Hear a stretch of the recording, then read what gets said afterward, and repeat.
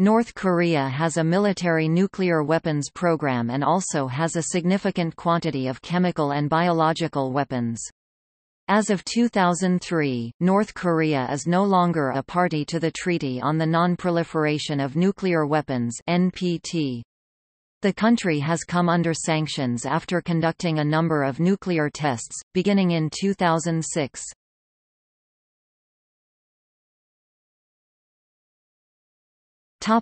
History The nuclear program can be traced back to about 1962, when North Korea committed itself to what it called all-fortressization, which was the beginning of the hyper-militarized North Korea of today. In 1963, North Korea asked the Soviet Union for help in developing nuclear weapons, but was refused. The Soviet Union agreed to help North Korea develop a peaceful nuclear energy program, including the training of nuclear scientists.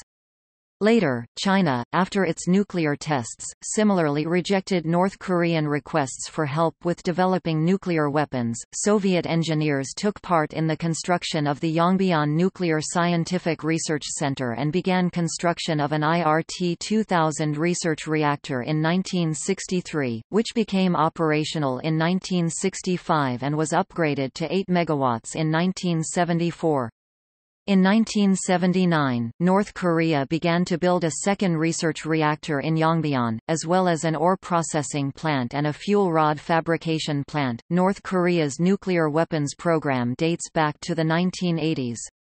Focusing on practical uses of nuclear energy and the completion of a nuclear weapon development system, North Korea began to operate facilities for uranium fabrication and conversion, and conducted high explosive detonation tests. In 1985 North Korea ratified the NPT but did not include the required safeguards agreement with the IAEA until 1992. In early 1993, while verifying North Korea's initial declaration, the IAEA concluded that there was strong evidence this declaration was incomplete. When North Korea refused the requested special inspection, the IAEA reported its noncompliance to the UN Security Council. In 1993, North Korea announced its withdrawal from the NPT, but suspended that withdrawal before it took effect. Under the 1994 agreed framework, the U.S. government agreed to facilitate the supply of two light water reactors to North Korea in exchange for North Korean disarmament. Such reactors are considered more proliferation resistant than North Korea's graphite moderated reactors, but not proliferation-proof implementation of the agreed framework foundered, and in 2002 the agreed framework fell apart, with each side blaming the other for its failure. By 2002, Pakistan had admitted that North Korea had gained access to Pakistan's nuclear technology in the late 1990s, based on evidence from Pakistan, Libya, and multiple confessions from North Korea itself. The United States accused North Korea of noncompliance and halted oil shipments. North Korea later claimed its public confession of guilt had been deliberately misconstrued. By the end of 2002, the agreed framework was officially abandoned. In 2003, North Korea again announced its withdrawal from the Nuclear Proliferation Treaty. In 2005, it admitted to having nuclear weapons but vowed to close the nuclear program. On October 9, 2006, North Korea announced it had successfully conducted its first nuclear test. An underground nuclear explosion was detected, its yield was estimated as less than a kiloton, and some radioactive output was detected. On January 6, 2007, the North Korean government further confirmed that it had nuclear weapons. On March 17, 2007, North Korea told delegates at international nuclear talks that it was preparing to shut down its main nuclear facility. The agreement was reached following a series of six-party talks, involving North Korea, South Korea, China, Russia, Japan, and the United States begun in 2003. According to the agreement, a list of its nuclear programs would be submitted and the nuclear facility would be disabled in exchange for fuel aid and normalization talks with the United States and Japan. This was delayed from April due to a dispute with the United States over Banco Delta Asia, but on July 14, International Atomic Energy Agency inspectors confirmed the shutdown of North Korea's Yongbyon nuclear reactor and consequently North Korea began to receive aid. This agreement fell apart in 2009, following a North Korean satellite launch. In April 2009, reports surfaced that North Korea has become a fully fledged nuclear power, an opinion shared by International Atomic Energy Agency IAEA Director General Mohammad ElBaradei. On May 25, 2009, North Korea conducted a second nuclear test, resulting in an explosion estimated to be between 2 and 7 kilotons. The 2009 test, like the 2006 test, is believed to have occurred at Mantapsan, Kilju County, in the northeastern part of North Korea. This was found by an earthquake occurring at the test site. In February 2012, North Korea announced that it would suspend uranium enrichment at the Yongbyon Nuclear Scientific Research Center and not conduct any further tests of nuclear weapons while productive negotiations involving the United States continue. This agreement included a moratorium on long-range missile tests. Additionally, North Korea agreed to allow IAEA inspectors to monitor operations at Yongbyon. The United States reaffirmed that it had no hostile intent toward the DPRK and was prepared to improve bilateral relationships, and agreed to ship humanitarian food aid to North Korea. The United States called the move, "...important, if limited." But said it would proceed cautiously and that talks would resume only after North Korea made steps toward fulfilling its promise. However, after North Korea conducted a long-range missile test in April 2012, the United States decided not to proceed with the food aid. On February 11, 2013, the U.S. Geological Survey detected a magnitude 5.1 seismic disturbance, reported to be a third underground nuclear test. North Korea has officially reported it as a successful nuclear test with a lighter warhead that delivers more force than before, but has not revealed the exact yield. Multiple South Korean sources estimate the yield at 6 to 9 kilotons, while the German Federal Institute for Geosciences and Natural Resources estimates the yield at 40 kilotons. However, the German estimate has since been revised to a yield equivalent of 14 knots when they published their estimations in January 2016. On January 6, 2016 in Korea, the United States Geological Survey detected a magnitude 5.1 seismic disturbance, reported to be a fourth underground nuclear test. North Korea claimed that this test involved a hydrogen bomb. This claim has not been verified. As described below, a hydrogen bomb could mean one of several degrees of weapon, ranging from enhanced fission devices to true thermonuclear weapons. Within hours, many nations and organizations had condemned the test. Expert U.S. analysts do not believe that a hydrogen bomb was detonated. Seismic data collected so far suggests a 6 to 9 kiloton yield and that magnitude is not consistent with the power that would be generated by a hydrogen bomb explosion. What we're speculating is they tried to do a boosted nuclear device, which is an atomic bomb that has a little bit of hydrogen, an isotope in it called tritium. Said Joseph Cirincione, president of the global security firm Ploughshares Fund. The German source which estimates for all the North Korea's past nuclear test has instead made an initial estimation of 14 knots, which is about the same revised yield as its previous nuclear test in 2013.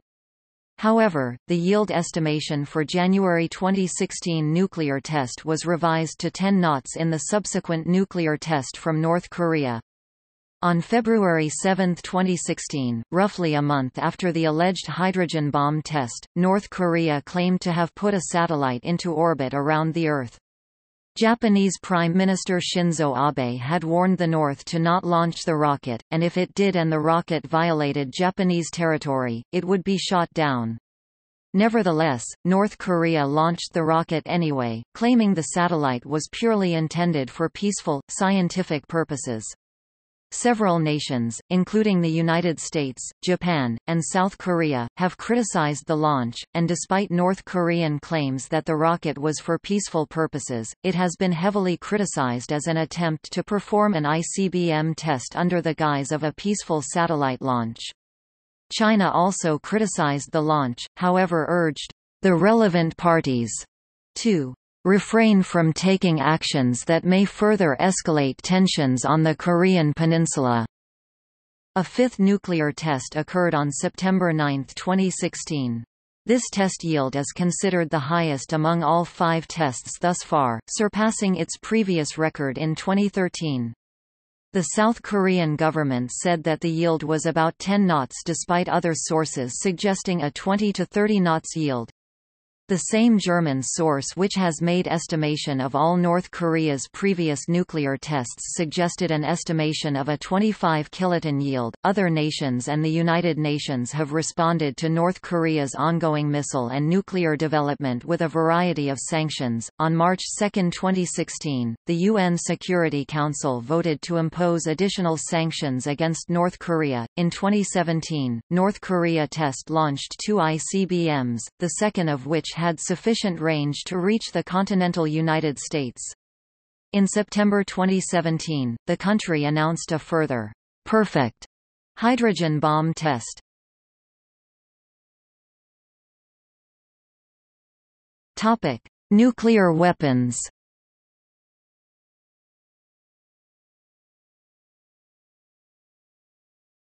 Topic: Overview The Korean Central News Agency claims that the U.S. has long posed nuclear threats to the DPRK, and the U.S. was seized by a foolish ambition to bring down the DPRK. So it needed a countermeasure. North Korea has been suspected of maintaining a clandestine nuclear weapons development program since the early 1980s, when it constructed a plutonium-producing Magnox nuclear reactor at Yongbyon. Various diplomatic means have been used by the international community to attempt to limit North Korea's nuclear program to peaceful power generation and to encourage North Korea to participate in international treaties. In May 1992, the International Atomic Energy Agency's IAEA first inspection in North Korea uncovered discrepancies suggesting that the country had reprocessed more plutonium than declared. IAEA requested access to additional information and access to two nuclear waste sites at Yongbyon. North Korea rejected the IAEA request and announced on March 12, 1993, an intention to withdraw from the NPT. In 1994, North Korea pledged, under the agreed framework with the United States, to freeze its plutonium programs and dismantle all its nuclear weapons programs in return for the normalization of diplomatic relations and several kinds of assistance, including resources for alternative energy supplies. By 2002, the United States States believed North Korea was pursuing both uranium enrichment technology and plutonium reprocessing technologies in defiance of the agreed framework. North Korea reportedly told American diplomats in private that they were in possession of nuclear weapons, citing American failures to uphold their own end of the agreed framework as a motivating force. North Korea later clarified that it did not possess weapons yet, but that it had a right to possess them, despite the agreed framework. In late 2002 and early 2003, North Korea began to take steps to eject International Atomic Energy Agency inspectors while rerouting spent fuel rods to be used for plutonium reprocessing for weapons purposes. As late as the end of 2003, North Korea claimed that it would freeze its nuclear program in exchange for additional American concessions, but a final agreement was not reached. North Korea withdrew from the Nuclear Non-Proliferation Treaty in 2003. Topic 2006 On October 9, 2006, North Korea demonstrated its nuclear capabilities with its first underground nuclear test, detonating a plutonium-based device with an estimated yield of 0.2 to 1 kiloton. The test was conducted at Punggye Ri nuclear test site in North Hamgyong province, and U.S. intelligence officials later announced that analysis of radioactive debris in air samples collected a few days after the test confirmed that the blast had taken place. The UN Security Council condemned the test and announced the imposition of Resolution 1874. Topic: Aftermath of 2006 nuclear test on January 6, 2007, the North Korean government further confirmed that it had nuclear weapons. In February 2007, following the six-party talks disarmament process, Pyongyang agreed to shut down its main nuclear reactor. On October 8, 2008, IAEA inspectors were forbidden by the North Korean government to conduct further inspections of the site. Topic 2009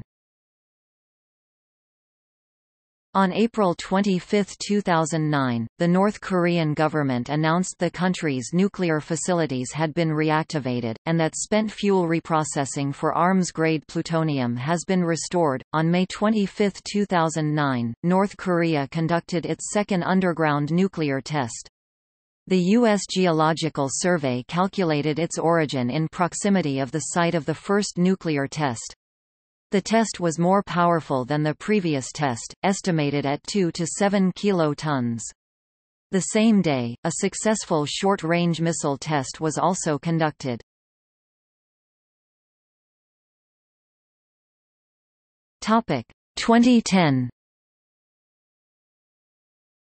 In May 2010, the North Korean government claimed to have successfully performed nuclear fusion. Although the claim was largely dismissed at the time, a 2012 analysis of radioisotopes suggested that North Korea may have performed two nuclear tests involving fusion. The paper was met with skepticism, as subsequent analysis of seismic data suggested no tests took place.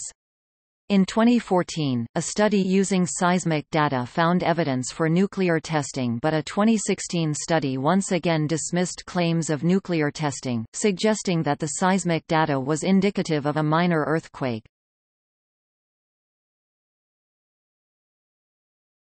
Topic 2013 On February 12, monitors in Asia picked up unusual seismic activity at a North Korean facility at 11:57 2:57 Greenwich Mean Time, later determined to be an artificial quake with an initial magnitude 4.9, later revised to 5.1. The Korean Central News Agency subsequently said that the country had detonated a miniaturized nuclear device with greater explosive force in an underground test. According to the Korea Institute of Geosciences and Mineral Resources, the estimated yield was 7.7 to 7.8 kilotons. Other researchers estimate the yield to have been 12.2 plus or minus 3.8 kilotons.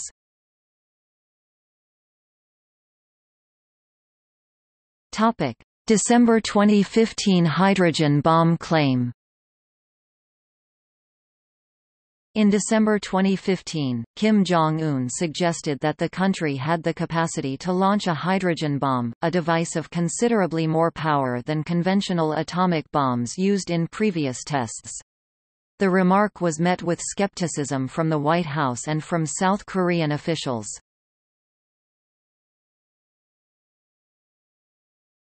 Topic 2016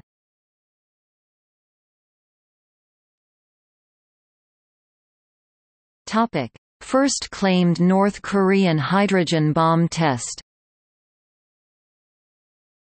On January 6, after reports of a magnitude 5.1 earthquake originating in northeast North Korea at, the country's regime released statements that it had successfully tested a hydrogen bomb. Whether this was in fact a hydrogen bomb has yet to be proven. Experts have cast doubt on this claim. A South Korean spy expert suggested that it may have been an atomic bomb and not a hydrogen bomb. Experts in several countries, including South Korea have expressed doubts about the claimed technology because of the relatively small size of the explosion. Senior defense analyst Bruce W. Bennett of research organization RAND told the BBC that Kim Jong-un is either lying, saying they did a hydrogen test when they didn't, they just used a little bit more efficient fission weapon, or the hydrogen part of the test really didn't work very well or the fission part didn't work very well.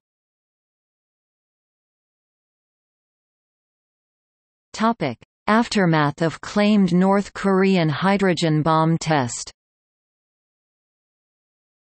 on March 9, 2016, North Korea released a video of Kim Jong-un visiting a missile factory. The international community was skeptical. IHS Jane's Carl Dewey said that, "...it is possible that the Silver Sphere is a simple atomic bomb. But it is not a hydrogen bomb." Furthermore, he said, a hydrogen bomb would not only be in two parts but also be a different shape. Nations across the world, as well as NATO and the UN, spoke out against the tests as destabilizing, as a danger to international security and as a breach of UN Security Council resolutions. China, one of North Korea's allies, also denounced the test.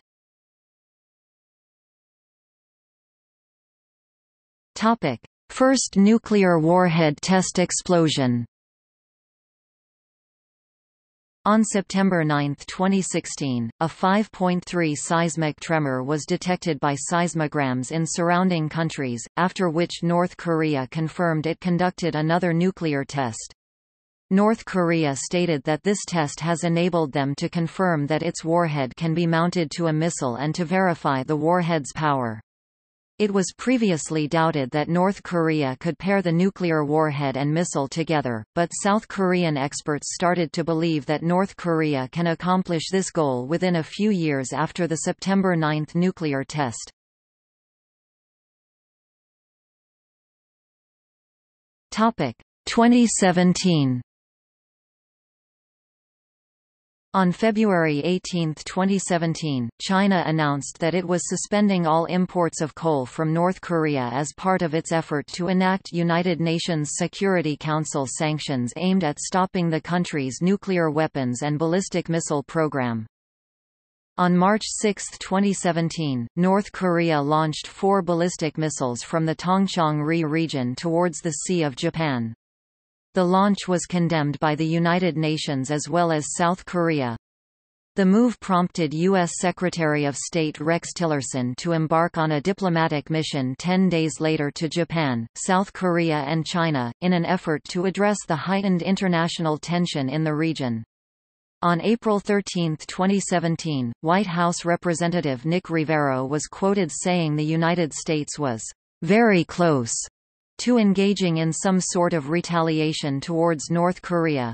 President Trump commented on North Korea by saying they will fight the war on terrorism no matter the cost. On April 15, 2017, at the yearly major public holiday also known in the country as the Day of the Sun, North Korea staged a massive military parade to commemorate the 105th birth anniversary of Kim Il-sung, the country's founder and grandfather of current leader, Kim Jong-un. The parade took place amid hot speculation in the United States, Japan, and South Korea that the country would also potentially test a sixth nuclear device, but failed to do so. The parade did publicly display, for the first time, two new intercontinental ballistic missile-sized canisters as well as submarine-launched ballistic missiles and a land-based version of the same. On April 16, 2017, hours after the military parade in Pyongyang, North Korea attempted to launch a ballistic missile from a site near the port of Sinpo, on the country's east coast. The missile exploded seconds after launch. Later that month, after a visit to Washington by the top Chinese leader, the U.S. State Department announced that North Korea was likely to face economic sanctions from China if it conducted any further tests. On April 28, 2017, North Korea launched an unidentified ballistic missile over Pukchang airfield, in North Korean territory. It blew up shortly after takeoff at an altitude of approximately 70 kilometers (44 miles). On July 4, 2017, North Korea launched HWASONG-14 from Banghyun Airfield near Kusong in a lofted trajectory it claims lasted 39 minutes for 578 miles (930 kilometers), landing in the waters of the Japanese exclusive economic zone. U.S. Pacific Command said the missile was aloft for 37 minutes, meaning that in a standard trajectory it could have reached all of Alaska, a distance of 4,160 miles 6,690 kilometers. By targeting the deep waters in the Sea of Japan, North Korea was ensuring that American or Japanese divers would encounter difficulties when attempting to recover HWASONG-14's engine. Equally, North Korea was not attempting to recover any reentry debris either, which South Korea pointed out as an indication that this first launch was of an ICBM which was far from ready for combat. As of July 2017, the U.S. estimated that North Korea would have a reliable nuclear-capable intercontinental ballistic missile ICBM by early 2018. On July 28, North Korea launched a second, apparently more advanced, ICBM, with altitude around 3,700 kilometers (2,300 miles), that traveled 1,000 kilometers (620 miles) downrange. Analysts estimated that it was capable of reaching the continental United States. Aerospace engineer and weapons analyst Dr. John Schilling estimates the current accuracy of the North's HWASONG-14 as poor, at the mooted ranges which threaten U.S. cities.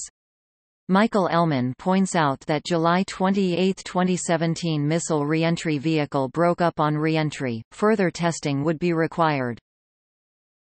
On August 8, 2017 The Washington Post reported that the Defense Intelligence Agency, in a confidential assessment, stated that North Korea has sufficiently miniaturized a nuclear warhead to fit inside one of its long-range missiles. On August 12 the diplomat reported that the Central Intelligence Agency, in a confidential assessment from early August, has concluded that the reentry vehicle in the July 28 test of HWASONG-14 did not survive atmospheric reentry due to apogee of 3,700 km which caused structural stresses in excess of what an ICBM would have had in minimum energy trajectory.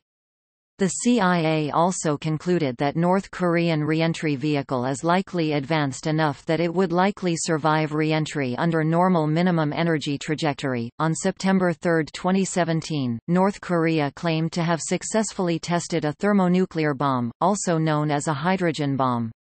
Corresponding seismic activity similar to an earthquake of magnitude 6.3 was reported by the USGS, making the blast around 10 times more powerful than previous detonations by the country.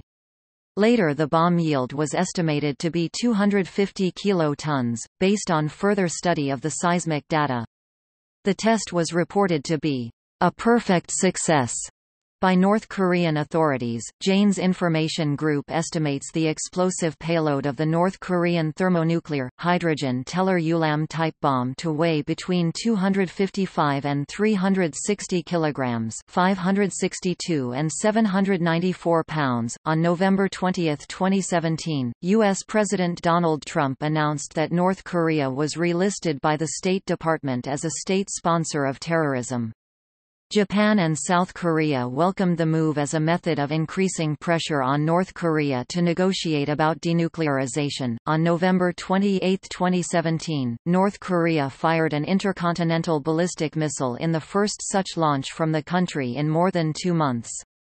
The missile, believed by the U.S. military to be an ICBM, was launched from Seine and flew roughly 620 miles 1,000 kilometers before landing in the Sea of Japan, after North Korea claimed that the missile was capable of carrying a super heavy nuclear warhead and hitting the whole mainland of the U.S. Kim Jong-un announced that they had finally realized the great historic cause of completing the state nuclear force, putting them in a position of strength to push the United States into talks.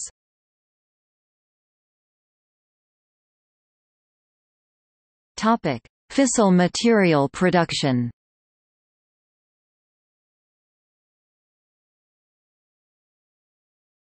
Topic: Plutonium facilities.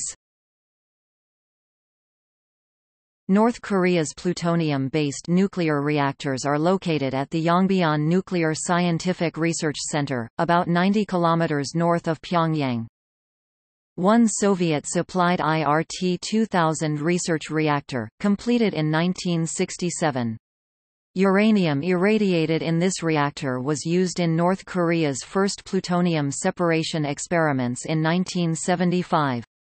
Nevertheless, the primary purpose of the reactor is not to produce plutonium and North Korea has had trouble acquiring enough fuel for constant operation. The U.S. Department of Energy estimated that this reactor could have been used to produce up to 1 to 2 kilograms of plutonium, though the Joint Atomic Energy Intelligence Committee said that the amount was no more than a few hundred grams. A newer nuclear reactor with a capacity of 5 MWE. This gas graphite moderated Magnox-type reactor is North Korea's main reactor, where practically all of its plutonium has been produced. A full core consists of 8,000 fuel rods and can yield a maximum of 27 to 29 kilograms of plutonium if left in the reactor for optimal burnup. The North Korean plutonium stock, mid-2006, is estimated to be able to produce 0.9 grams of plutonium per thermal megawatt every day of its operation. The material required to make a single bomb is approximately 4 to 8 kilograms. Often, North Korea has unloaded the reactor before reaching the maximum burnup level. There are three known cores which were unloaded in 1994 under IAEA supervision in accordance with the agreed framework 2005, and 2007. In 1989, the 5 MWE reactor was shut down for a period of 70 to 100 days. In this time it is estimated that up to 15 kilograms of plutonium could have been extracted. In 1994, North Korea unloaded its reactors again. The IAEA had these under full surveillance until later being denied the ability to observe North Korean power plants. Under normal operation, the reactor can produce about 6 kg of plutonium per year although the reactor would need to be shut down and the fuel rods extracted to begin the plutonium separation process. Hence, plutonium separation stages alternate with plutonium production stages. Reprocessing also known as separation is known to have taken place in 2003 for the first core and 2005 for the second core. Two Magnox reactors, 50 MWE and 200 MWE, under construction at Yongbyon and Taechon. If completed, 50 MWE reactor would be capable of producing 60 kg of plutonium per year, enough for approximately 10 weapons and 200 MWE reactor 220 kg of plutonium annually, enough for approximately 40 weapons. Construction was halted in 1994 about a year from completion in accord with the agreed framework, and by 2004 the structures and pipework had deteriorated badly. Fuel reprocessing facility that recovers uranium and plutonium from spent fuel using the Purex process. Based on extended Eurochemic reprocessing plant design at the Mol-Dessel site in Belgium. In 1994 its activity was frozen in accord with the agreed framework. On April 25, 2009, North Korean news agency KCNA reported the resumption of reprocessing of spent fuel to recover plutonium. On March 12, 1993, North Korea said that it planned to withdraw from the Nuclear Non-Proliferation Treaty (NPT) and refused to allow IAEA inspectors access to its nuclear sites. By 1994, the United States believed that North Korea had enough reprocessed plutonium to produce about 10 bombs with the amount of plutonium increasing. Faced with diplomatic pressure after UN Security Council Resolution 825 and the threat of American military air strikes against the reactor, North Korea agreed to dismantle its plutonium program as part of the agreed framework in which South Korea and the United States would provide North Korea with light water reactors and fuel oil until those reactors could be completed. Because the light water reactors would require enriched uranium to be imported from outside North Korea, the amount of reactor fuel and waste could be more easily tracked, making it more difficult to divert nuclear waste to be reprocessed into plutonium. However, the agreed framework was mired in difficulties, with each side blaming the other for the delays in implementation. As a result, the light water reactors were never finished. In late 2002, after fuel aid was suspended, North Korea returned to using its old reactors. In 2006, there were eight sites identified as potential test explosion sites for current and future tests according to a statement by the South Korean parliament. These sites are distinguished from a number of other nuclear materials production facilities in that they are thought to be most closely identified with a military, or potentially military purpose. 1. Hamgyong Bukdo North Hamgyong Province, two sites. Chungjinsi, nuclear fuel storage site, military base and unidentified underground facility. Kilogan, extensive military buildup with motorized troop formations and construction of new advanced underground facility, site of May 25, 2009, nuclear test. Fengyer, site of October 9, 2006, nuclear test 2. Shigongdo Province, one site, Kangisi, production center of North Korea's advanced equipment and munitions since 1956. Also, extensive intelligence of highly advanced underground facility. 3. Pyongan Bukdo North Pyongan Province, 4 sites Yongbyon Z2 sites, location of Yongbyon Nuclear Research Center, and the facility's experimental test explosion facility and two unidentified underground facilities. In addition, there is a gas graphite reactor, HE test site, nuclear fuel fabrication site, nuclear waste storage site. Kusunsi, between 1997 and September 2002, approximately 70 test explosions of North Korean munitions took place. Also, existence of underground facility. Taeshongan 200 MWE nuclear energy plant construction site Location of unidentified underground facility and nuclear arms, energy-related facilities known to exist for Pyongan Namdo South Pyongan Province, one site, Pyeongseong-si, location of National Science Academy and extensive underground facility whose purpose is not known.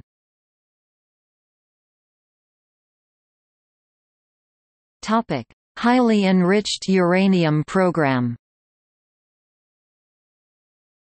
North Korea possesses uranium mines containing an estimated 4 million tons of high-grade uranium ore. Prime Minister Benazir Bhutto of Pakistan allegedly, through Pakistan's former top scientist, Abdul Qadir Khan, supplied key data, stored on CDs, on uranium enrichment and information to North Korea in exchange for missile technology around 1990–1996, according to U.S. intelligence officials. President Pervez Musharraf and Prime Minister Shawkat Aziz acknowledged in 2005 that Khan had provided centrifuges and their designs to North Korea.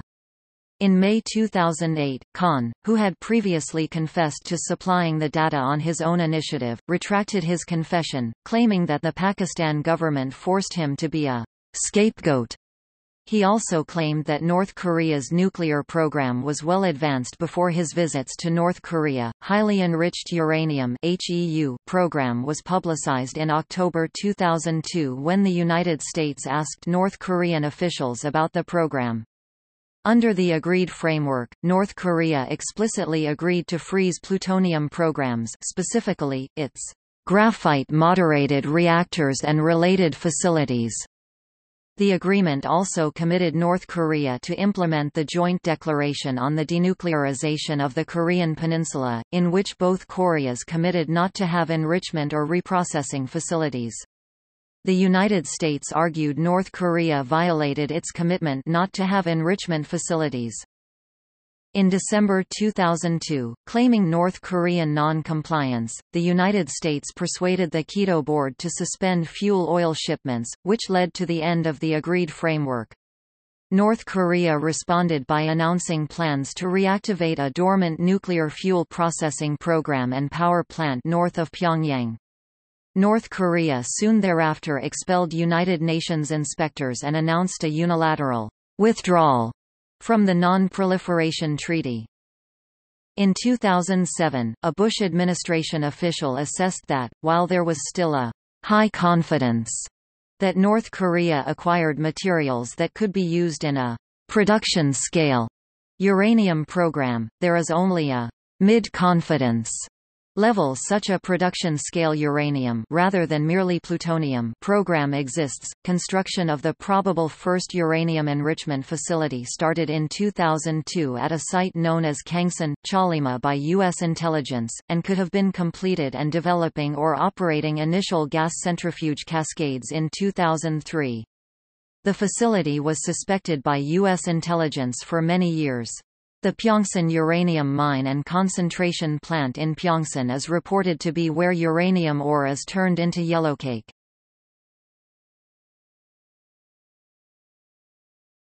Topic: Stockpile estimates and projections.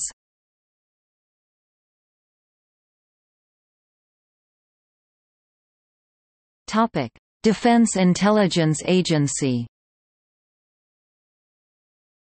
On August 8, 2017, The Washington Post reported recent analysis completed the previous month by the U.S. Defense Intelligence Agency which concluded that North Korea had successfully produced a miniaturized nuclear warhead that can fit in missiles and could have up to 60 nuclear warheads in its inventory.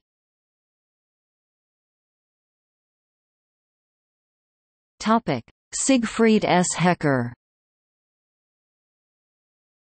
On August 7, 2017, Siegfried S. Hecker, former director of the Los Alamos National Laboratory who has visited North Korea nuclear facilities many times on behalf of the U.S., estimated that North Korea's stockpile of plutonium and highly enriched uranium was probably sufficient for 20 to 25 nuclear weapons. He assessed that North Korea had developed a miniaturized warhead suitable for medium-range missiles, but would need further tests and development to produce a smaller and more robust warhead suitable for an intercontinental ballistic missile (ICBM) and re-entry into the atmosphere. He considered the warhead as the least developed part of North Korea's plans for an ICBM.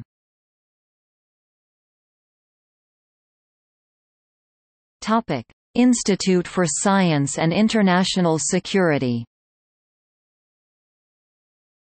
For 2013, the Institute for Science and International Security gave a mid-range estimate of 12 to 27 nuclear weapon equivalents, including plutonium and uranium stockpiles. By 2016, North Korea was projected to have 14 to 48 nuclear weapon equivalents.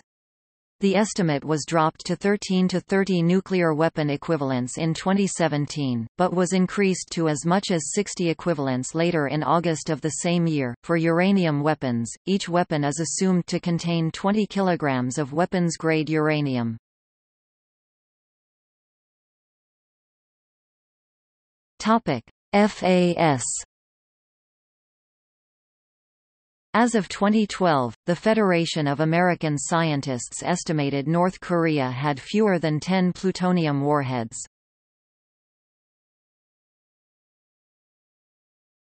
Topic: SIPRI As of January 2013, the Stockholm International Peace Research Institute estimated North Korea had 6 to 8 warheads.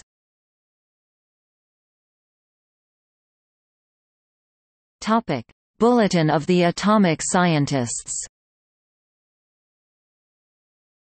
As of 8 January 2018, Hans M. Kristensen and Robert S. Norris of the Federation of American Scientists published in the Bulletin of the Atomic Scientists that they cautiously estimate that North Korea may have produced enough fissile material to build between 30 and 60 nuclear weapons, and that it might possibly have assembled 10 to 20.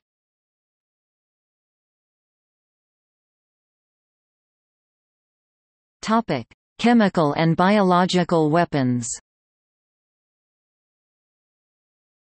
North Korea began to develop its own chemical industry and chemical weapon CW program in 1954, immediately following the end of the Korean War. However, substantial progress was not made until the 1960s, when Kim Il-sung issued a Declaration for Chemicalization whose aim was to further develop an independent chemical industry capable of supporting various sectors of its economy, as well as support chemical weapons production and established North Korea's Nuclear and Chemical Defense Bureau. In the late 1960s and early 1970s, North Korea received Soviet and Chinese aid in developing its chemical industry. In 1979, the U.S. Defense Intelligence Agency believed that North Korea had only a defensive CW capability. It is unclear when North Korea acquired the capability for independent CW production. Estimates range from the 1970s to early 1980s.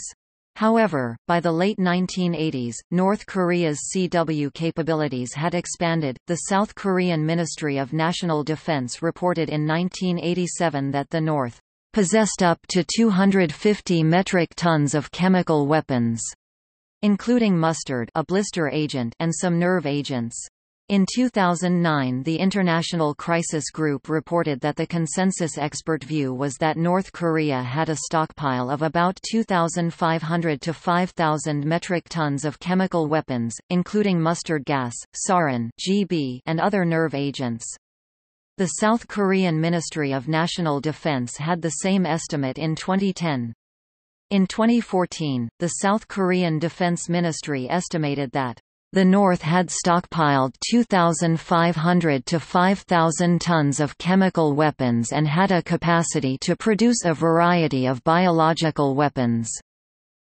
In 2015, the U.S. Department of Defense reported to Congress that North Korea's CW program likely possesses a CW stockpile and likely had the capability to produce nerve, blister, blood, and choking agents. The report also found that North Korea probably could employ CW agents by modifying a variety of conventional munitions, including artillery and ballistic missiles. In addition, North Korean forces are prepared to operate in a contaminated environment, they train regularly in chemical defense operations. The report indicated that North Korea continues to develop its biological research and development capabilities, and may consider the use of biological weapons as an option, contrary to its obligations under the Biological and Toxins Weapons Convention.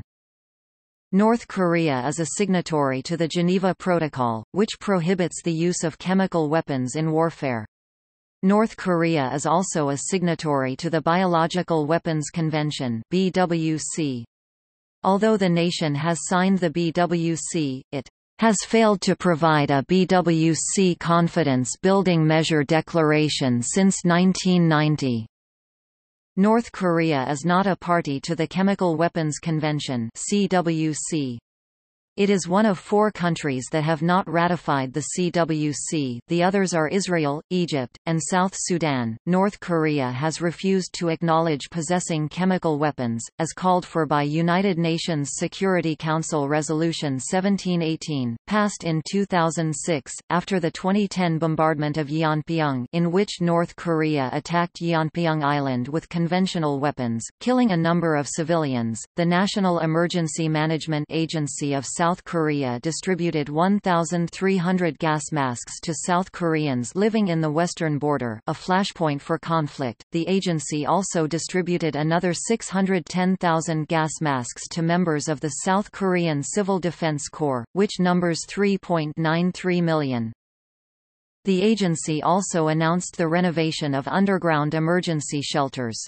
Gas masks are effective against some chemical agents, but not against blister agents such as mustard gas, lewisite, and phosgene oxime, which North Korea is thought to have in its stockpiles.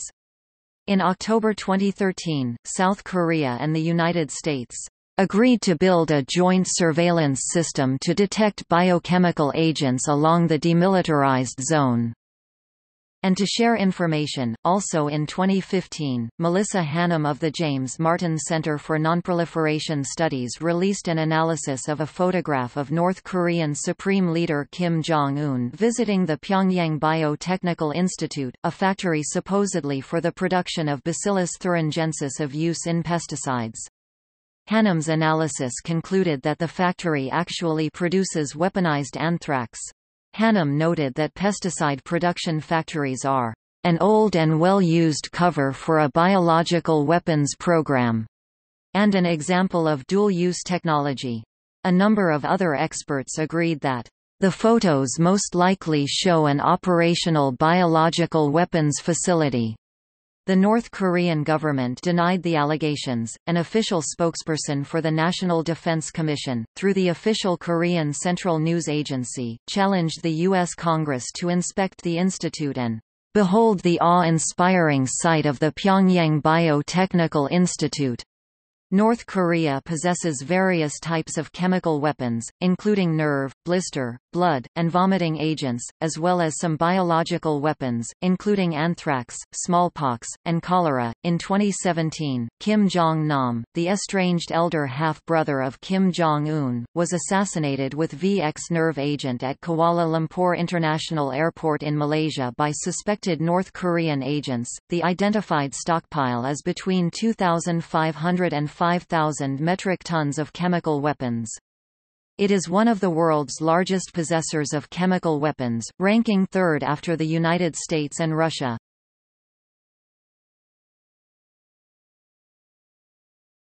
Topic: Delivery systems.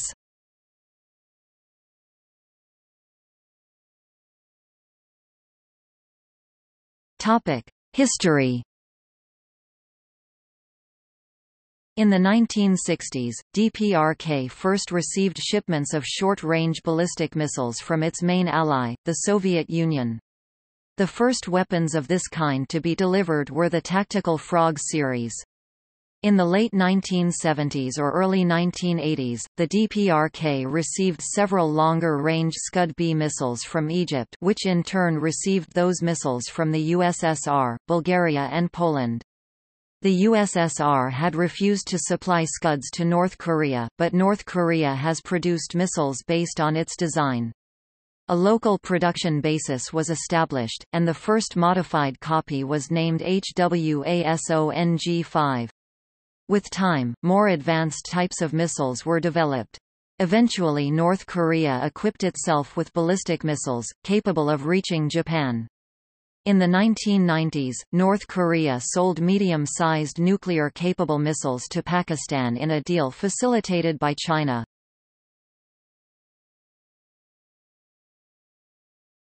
Topic: Status North Korea's ability to deliver weapons of mass destruction to a hypothetical target is somewhat limited by its missile technology.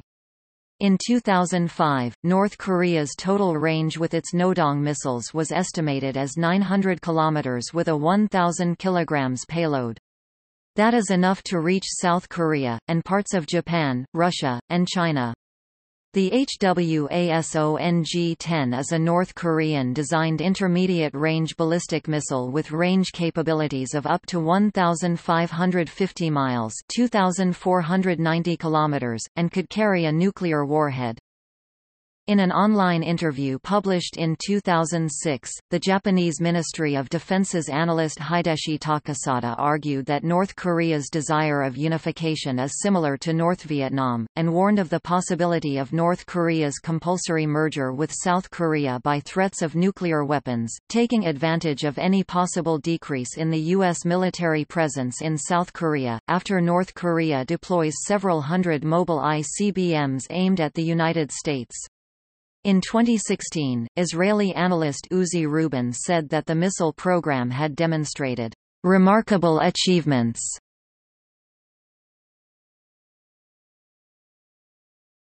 Topic: Operational delivery systems. There is evidence that North Korea has been able to miniaturize a nuclear warhead for use on a ballistic missile. Whether North Korea has technology to protect their missiles upon re-entry is unknown. Some analysts suggest North Korea's new missiles are fakes. Various North Korean rocket tests continued into the 2010s, for example in 2013, in 2014, and in 2016.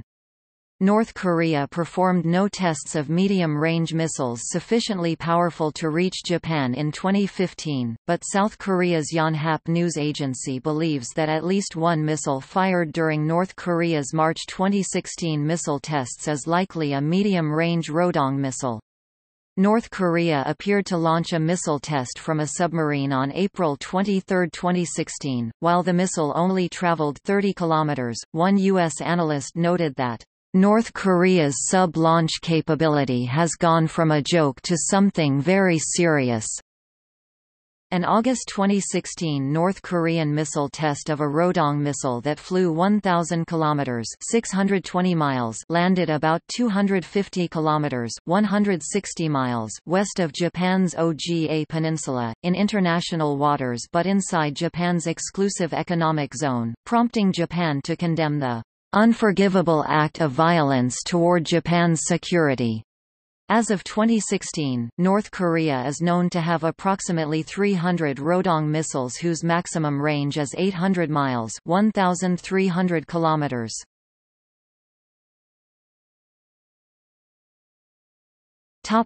Operational or successfully tested.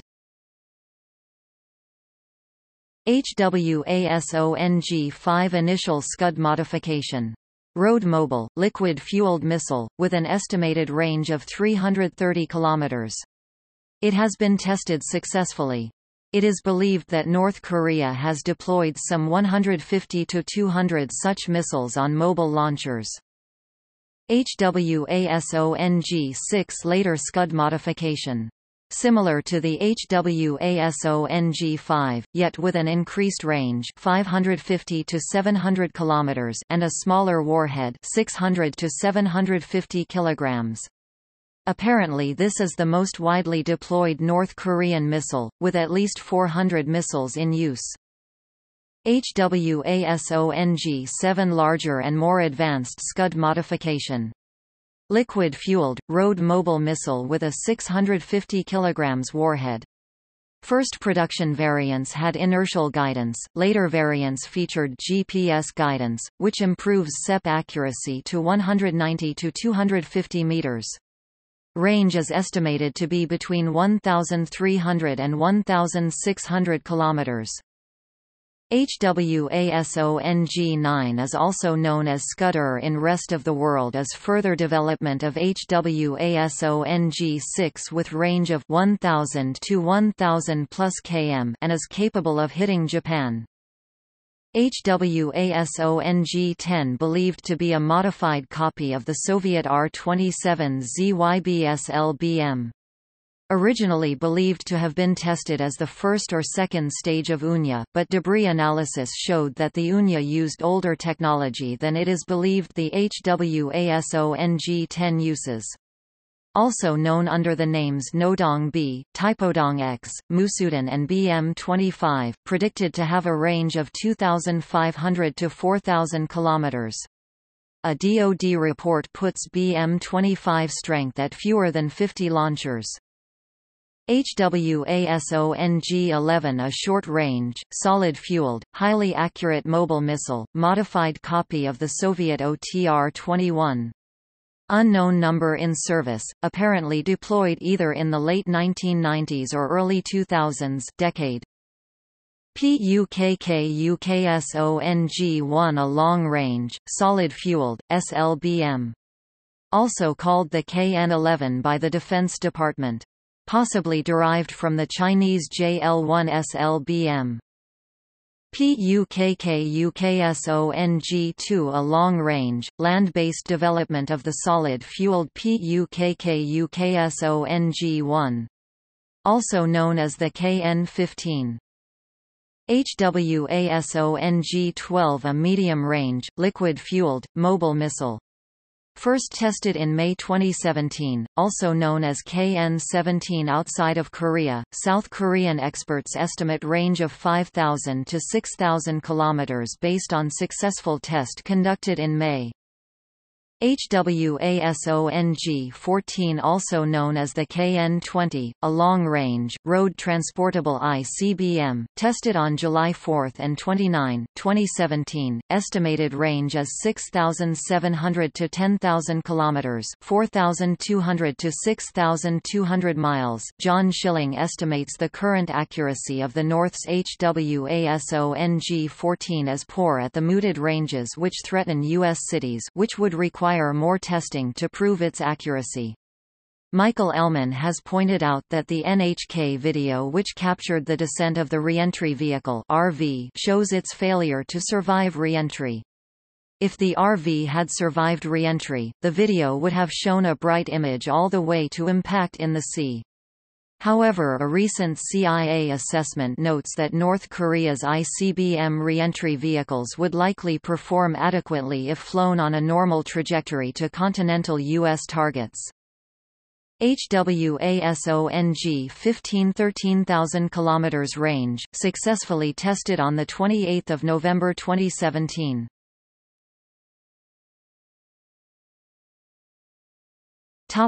Untested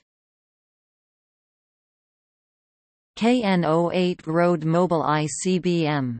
Also called the HWASONG-13 HS-13. Maximum range greater than 3,400 miles. The U.S. Defense Department estimates at least six KN-08 launchers are in deployment.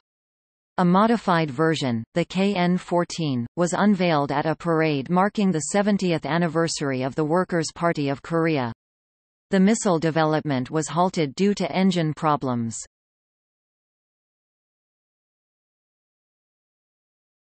Topic: Exports related to ballistic missile technology. In April 2009, the United Nations named the Korea Mining and Development Trading Corporation as North Korea's primary arms dealer and main exporter of equipment related to ballistic missiles and conventional weapons. The UN lists KOMID as being based in the Central District, Pyongyang. However, it also has offices in Beijing and sales offices worldwide which facilitate weapons sales and seek new customers for North Korean weapons. KOMID has sold missile technology to Iran and has done deals for missile related technology with the Taiwanese. KOMID has also been responsible for the sale of equipment, including missile technologies, gunboats, and multiple rocket artilleries, worth a total of over $100 million, to Africa, South America, and the Middle East. North Korea's military has also used a company called Hap Heng to sell weapons overseas. Hap Heng was based in Macau in the 1990s to handle sales of weapons and missile and nuclear technology to nations such as Pakistan and Iran. Pakistan's medium-range ballistic missile, the Ghauri, is considered to be a copy of North Korea's Rodong-1. In 1999, intelligence sources claim that North Korea had sold missile components to Iran. Listed directors of Hap Heng include Kim Song-in and Ko Myong-hun. Ko Myong-hun is now a listed diplomat in Beijing and may be involved in the work of KOMID. A UN Security Council Sanctions Committee report stated that North Korea operates an international smuggling network for nuclear and ballistic missile technology, including to Myanmar, Burma, Syria, and Iran.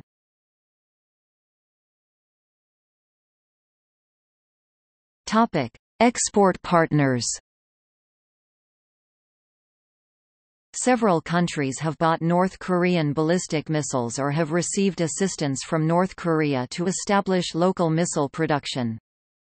Egypt Egypt has received technologies and assistance for manufacture of both the HWASONG-5 and HWASONG-6, and may have provided guidance systems or information on longer-range missiles to North Korea from the Condor – Badr program.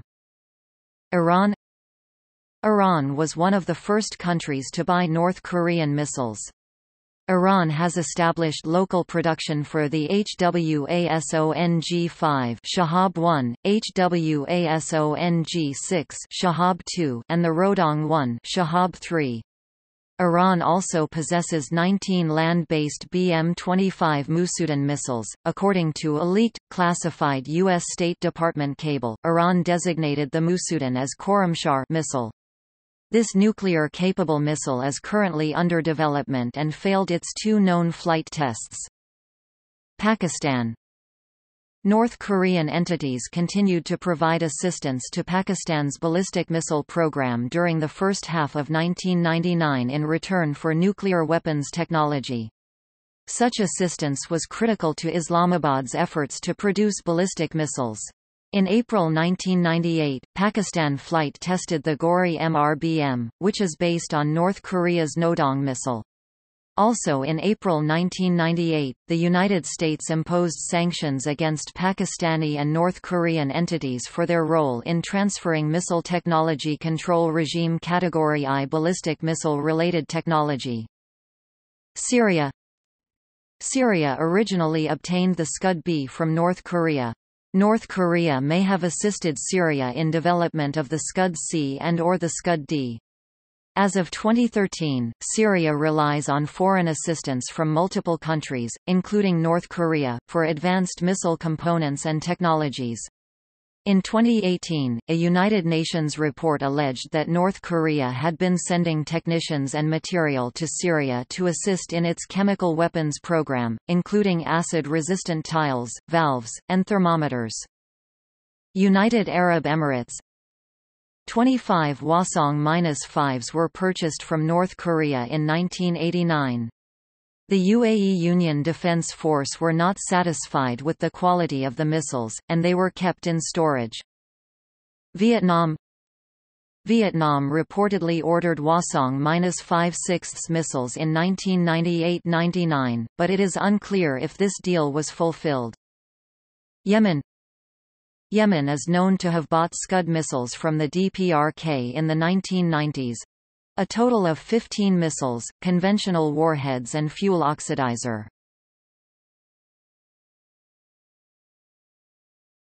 Topic: Former export partners. Libya Libya during the rule of Muammar Gaddafi had been known to receive technological assistance, blueprints and missile parts from North Korea.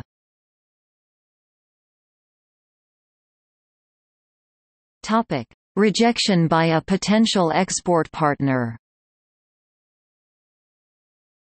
Nigeria in January 2004, the Nigerian government announced that North Korea had agreed to sell it missile technology, but a month later Nigeria rejected the agreement under U.S. pressure.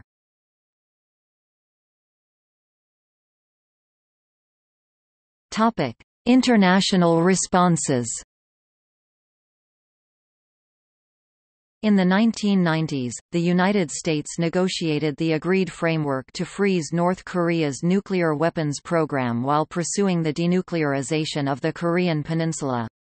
This broke down when North Korea's clandestine uranium enrichment program came to light in 2002, after which China convened the six-party talks to negotiate a step-by-step -step approach to denuclearization. The six-party talks stalled after multiple North Korean nuclear and missile tests, leading to increasing international sanctions against North Korea, including a series of sanctions resolutions imposed by the United Nations Security Council. In 2018, Presidents Moon Jae-in of South Korea and Donald Trump of the United States held a series of summits with Kim Jong-un which led to declarations in favor of the denuclearization of the Korean peninsula.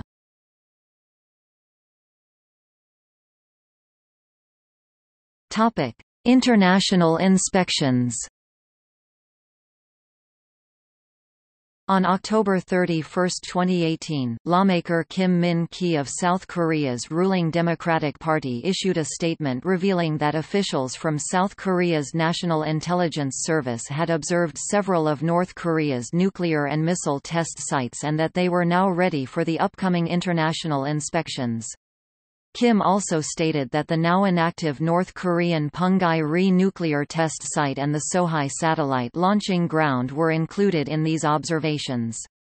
The visit by the intelligence officials was in tandem with the September 2018 Pyongyang Agreement, which saw North Korean leader Kim Jong-un agree to close Sohae and allow international experts to observe the dismantling of the missile engine testing site and a launch pad. The international experts will also be allowed to witness the dismantled of other North Korean nuclear and missile test sites as well. Yongbyon, the main nuclear facility in North Korea, has also been inactive during the past year as well, but has not yet completely closed.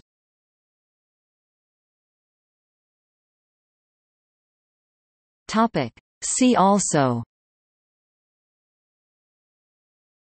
Kim Jong-un Korean conflict. Korean reunification. 2017 North Korea crisis. Index of Korea-related articles. 2002 State of the Union Address. Foreign relations of North Korea. List of nuclear weapons tests of North Korea. North Korea-Pakistan relations. North Korea-United States relations Nuclear power in North Korea. Sohae Satellite Launching Station. North Korea Nuclear Disarmament, Co. Joseonmin Huhuian Mengangwa Gugui Bihagwa equals equals Notes